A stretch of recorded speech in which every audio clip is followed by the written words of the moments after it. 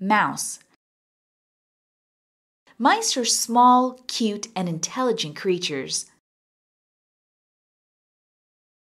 Their hind legs are shorter than their forelegs.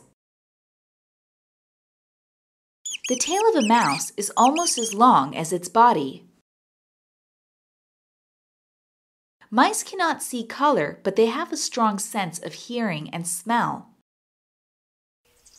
They also do not like broad daylight. They are active during dusk and dawn.